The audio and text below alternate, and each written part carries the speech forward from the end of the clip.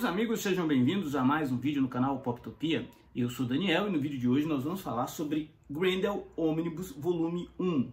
Esse quadrinho foi lançado agora no início do ano, né, pela Mitos. Ele foi anunciado para o final do ano, enfim, mas chegou para os compradores e para os parceiros como eu agora no início do ano e confesso para vocês que eu não tinha muita expectativa a respeito desse material, mas estava curioso. Curioso porque Grendel do Matt Wagner sempre foi falado, foi comentado como uma obra relevante na indústria dos quadrinhos, mas eu não tinha lido nada desse personagem, né? E aqui é, eu posso dizer que talvez esse ano tenha sido o primeiro grande quadrinho que eu li em 2024. Grande daqueles que se. se é, não, acho que eu já li Bouncer, já li outras coisas é, é relevantes e que se candidatam ali no final do ano, está nas listas de melhores do ano mas com certeza Grendel começa é, um pouco na frente dos demais. E digo isso por quê? Porque se trata de uma obra que é uma construção de um universo que gira em torno de um personagem, mas que não se limita a explorar unicamente um, só esse personagem. Né? Grendel ele gira em torno meio que de uma, uma releitura de, de, de, de contos mitológicos, folclóricos. A gente vai conhecer Grendel a partir é, desse volume 1, que é dividido em cinco partes, né? cinco grandes tomos. O primeiro dedicado meio que a conhecer a biografia do Grendel, a conhecer as características e tudo que transformou esse homem ou essa criatura em uma lenda. Então, é, o Grendel, ao mesmo tempo, ele é um escritor, ele é um artista, ele é um, um espadachim, um samurai, um advogado e também o justiceiro que se torna ali uma espécie de chefe da máfia. É, é, é, tudo muito complexo, é tudo muito ambíguo, né? Ao mesmo tempo que a gente tem na figura do Hunter Rose, que é o alter ego do Grendel, um homem sofisticado, um homem elegante, a gente tem no seu contraponto, que seria o cara do bem, o Argente, que é um, um, um selvagem, um lobo, um, uma criatura saída de contos é, é, contos fabulosos, uma criatura saída dos pesadelos de uma criança que talvez seja a filha é, adotiva ali do Hunter Rose, que vê no, no Argent uma figura amigável, ou seja, a filha de um é amigo do outro, que são inimigos e, pasmem, é, se respeitam por conta dessa relação, mas se odeiam. A, a gente tem aqui essa experiência narrativa diversificada. O que, que eu quero dizer com isso? Apesar de o título ser Grendel Omnibus por Matt Wagner, ou Matt Wagner, não sei pronunciar direito, mas acho que é Matt Wagner. Temos muitos nomes conhecidos da indústria dos quadrinhos trabalhando aqui, né? A gente tem uma história escrita, uma história de origem, escrita e ilustrada pela, escrita pelo pela pelo Matt Wagner e ilustrada pela Jill Thompson, que é autora lá de Pequenos Perpétuos. Essa história é uma história de origem, né? Que vai contar mais ou menos sobre um ponto de vista um pouco mais fofo, como que foi o surgimento desse personagem Grendel, né? E o Grendel que a gente vai conhecer aqui, todo ele em preto, branco e vermelho, já é uma segunda abordagem do Matt Wagner.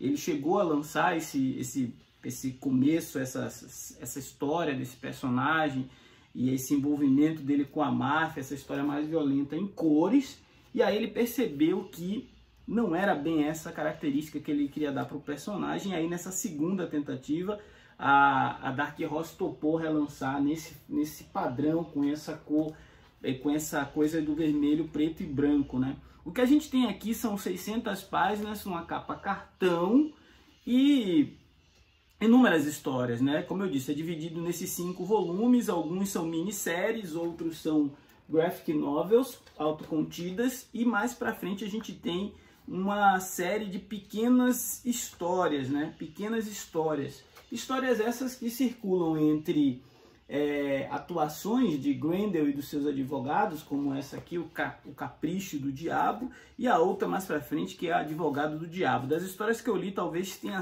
das histórias que eu li, destas que me marcaram no, no, no, no quadrinho, talvez tenha sido a mais, é, a, a mais atual. Mas tem uma história logo adiante sobre um político corrupto que é perseguido pelo Grendel, mas não de forma é, muito efetiva, ele é perseguido de uma forma mais psicológica, né? E mesmo assim, o Grendel consegue fazer com que ele se mate, né? É, é, é, é uma espécie de justiça meio autoimposta.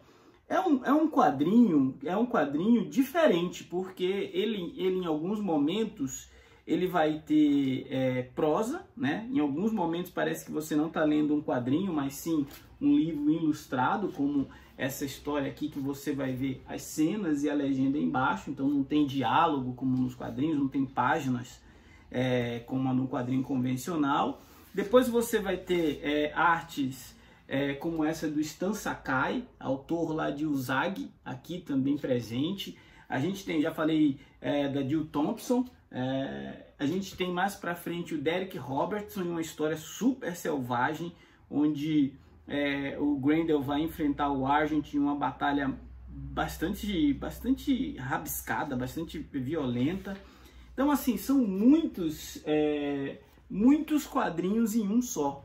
É, a temática talvez está mais para uma temática no ar, talvez para uma temática no ar. O visual talvez para um visual mais experimental, em algumas páginas sim, uma, uma história mais experimental, uma história menos convencional, mas ao mesmo tempo, olha essas páginas do Fio Noto, uma estética completamente atraente e à medida que você vai lendo, você vai desejando não só saber mais, mas parar um pouco para pesquisar algumas referências. Esse universo que o Matt Wagner ele, ele construiu aqui, é uma reflexão sobre a natureza da violência humana, né? Da, da violência como ferramenta de, de, de, algum tipo de justiça, algum tipo de equilíbrio. Tem histórias onde o Grendel, é, e eu estou falando muito no geral, porque as histórias, a maioria delas são curtas, então tem histórias onde o Grendel está lidando efetivamente com a máfia, ele está lidando com caras corruptos, com traficantes de drogas e ele não tem outra linguagem a usar que não seja a linguagem da violência, né? Essa aqui, o tributo ao diabo, é uma delas, inclusive, uma das mais pesadas. Então, é, é, talvez não seja um quadrinho para todos os públicos, mas é importante que a Mitos traga esse material aqui para o Brasil. Essa coleção lá fora já teve cinco volumes publicados pela Dark Horse, né?